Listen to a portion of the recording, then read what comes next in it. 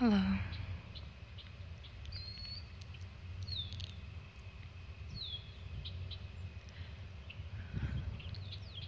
This is Misha. I'm on my lunch break right now and by a small creek near my workplace. And it's so peaceful here that I thought I'd pick up some video.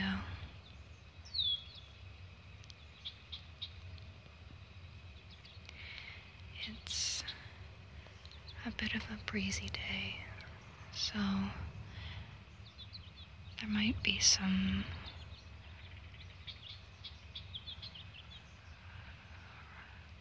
uh, buffeting on the microphone from the wind. I'm trying to shield the microphones on my hand with my hands,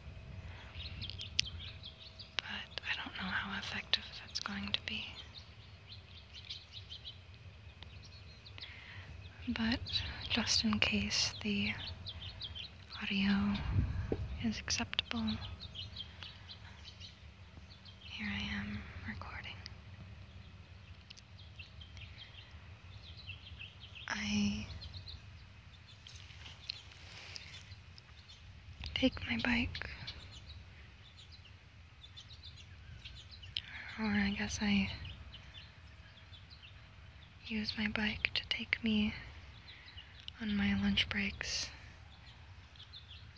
somewhere else. I usually go a fair distance from work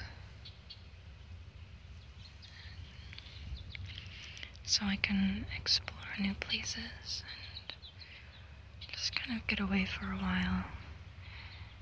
It feels good for me to completely distract myself during my breaks.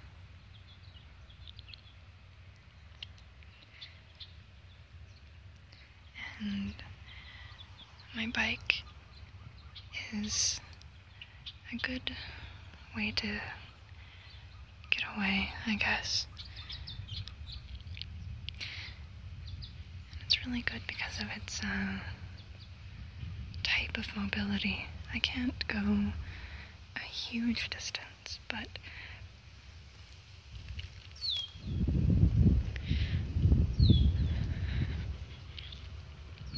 I can go places that I can't go with my car. So I'll often come to this park, to this creek, um, and elsewhere in this large business complex that I'm in the middle of. There's abandoned buildings and um, lots of different sorts of environments. I actually post a lot of pictures on my Twitter and my Instagram of some different places I visit during my lunch breaks.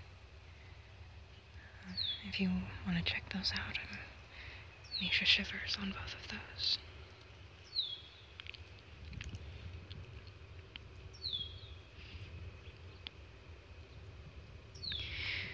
My lunch breaks are particularly pleasant for me because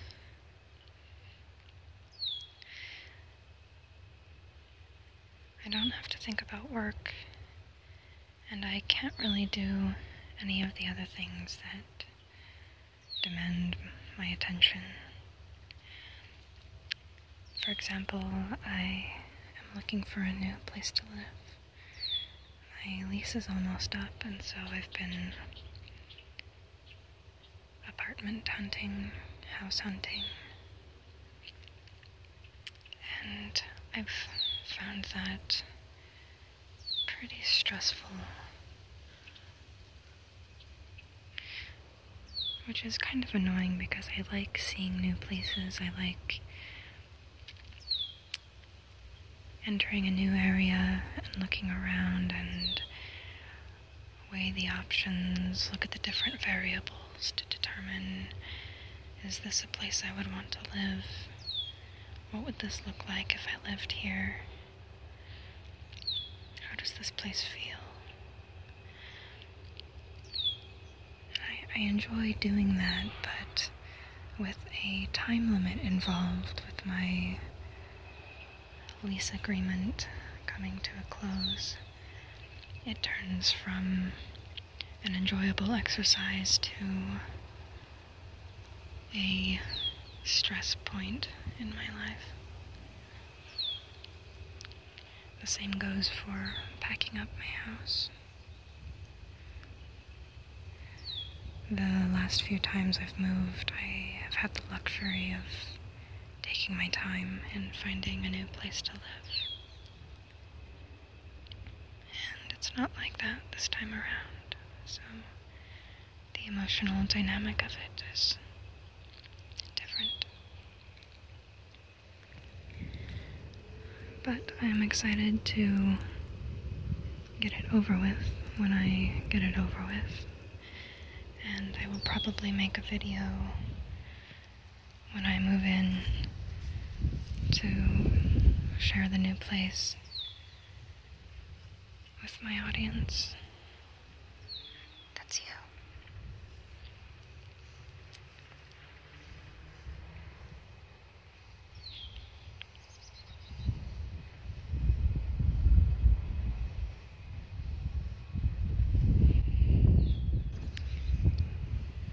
This park area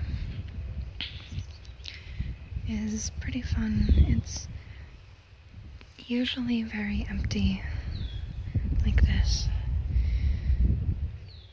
There was a spike in activity around here when Pokemon Go was released, of course. But there aren't actually very many Pokestops around here. There's one down there, if you see that pavilion. Right there. That's a stop And that water tower in the distance. There. That one's a Pokestop. But that's about it for Pokestops nearby. So I'll occasionally see people around, some days, like today, there's just nobody. And it's not used like a normal park because it uh, it's sort of abandoned as a park. I don't think it's a public area. I think it belongs to the business complex as a whole. And it's so the space just isn't really being used. Sorry, I I'm trying to uh, still guard the the microphone from wind, and I was getting my finger in the camera. Sorry.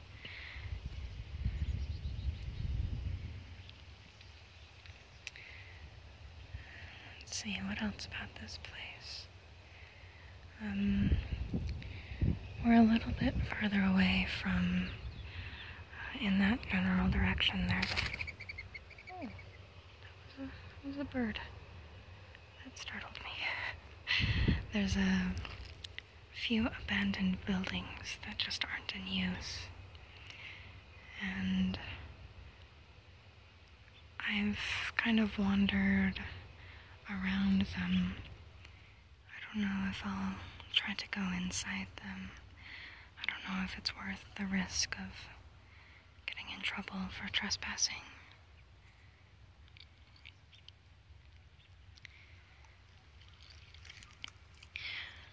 I certainly want to, though.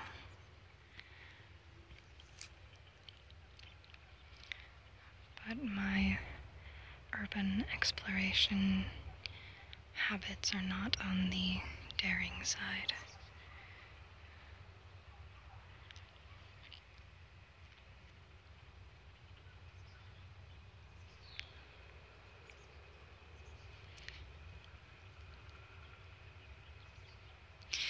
You know what? I have a little bit more time left of my lunch break, so I think I'll hop on my bike and take you to some of the little curiosities I've found in my explorations around here.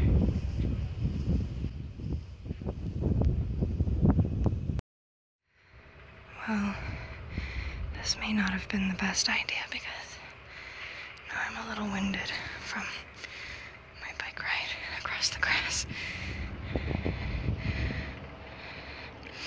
But, um, this is a pavilion from this park that I, I think it used to be in use. And it's just not anymore. It's abandoned along with all of the other park equipment. The uh, the pavilion I pointed out that was a Pokestop. It it looks like it used to have benches or tables, and just doesn't anymore. This is the same way. Though the fun thing about this is a, a little hatch leading to, I mean, probably just scaffolding, but I can't help but wonder if someone's ever hid anything up there, or went up there, or left any messages. I don't know. I don't have an immediate way to to get up there. I can't really stand on my bike. It doesn't have a kickstand. I'd have to bring a ladder and I just I just don't think I'm gonna do that. Still, it's a fun little pavilion, but it would be more useful to me if it had seating or a table of some kind.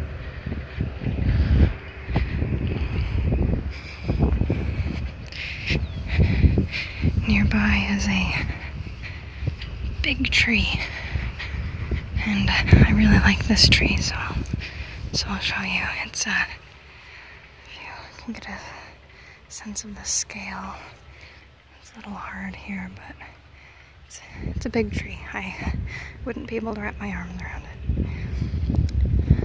One of the interesting things about this tree is that it's uh, uh, just completely covered in insects. This, uh, both the grass and the tree are just crawling with bugs of many different types. Okay, um, I'd love to continue, but actually, uh, my phone is overheating. It is very warm out here, and the uh, I'm running out of storage space. So I'm going to have to take care of the latter and bring some sort of preparation for the former uh, next time I do a show and tell of my little explorations with you guys. So for now, I'll say goodbye and I will talk to you again soon.